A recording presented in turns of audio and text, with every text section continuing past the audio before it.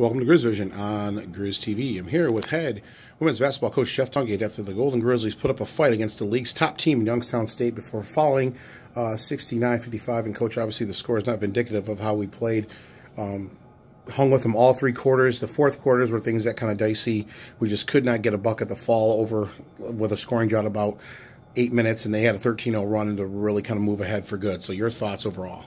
Well, you know, I, I, thought our team really competed. I was really proud of their effort. I was proud of how they bounced back from a tough loss on Friday. I think it shows a lot about the character of our team and, and what we're made of. Um, you know, I thought defensively, I thought we did a really good job. You know, again, we missed some open looks, but we're a young team; those are eventually going to fall. So I'm, I'm, I'm pleased with how we played. Um, you know, there's a lot of things I would like to add uh, to the fourth quarter that I won't, but um, you know, I thought we, we, we, we competed, and Youngstown's a great team, and and they're they're you know, like you said, one of the top teams in the league. And so for us to come out and battle after that tough loss on Friday, I think shows a lot of character for our team. And I'm really proud of our effort and really proud of our kids. Yeah, so moving forward, Coach, obviously with a good effort against the top team, um, there's really not much to say, but we have our rival Detroit coming in here for the whiteouts. So your thoughts as uh, they come in?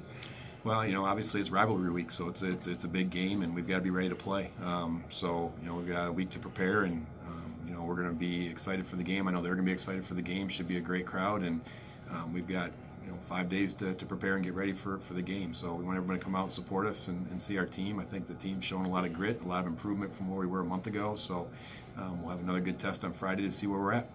Okay, Coach. Well, thank you for your time. We'll see you on Friday against Detroit Mercy. Thank you.